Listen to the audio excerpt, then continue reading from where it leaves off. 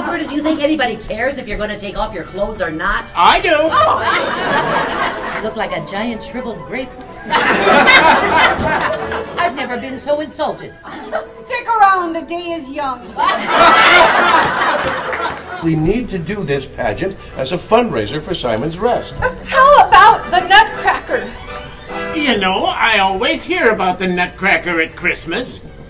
What the hell is it, anyhow? Well, It's a, it's a biography. It's about Hillary and Bill Clinton. It's a pantomime. It's a pantomime to music. That's a ballet!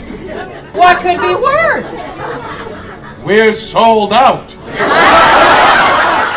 Who are we kidding? We're going to do a ballet? Us old farts? We'll do it simply and elegantly with dignity.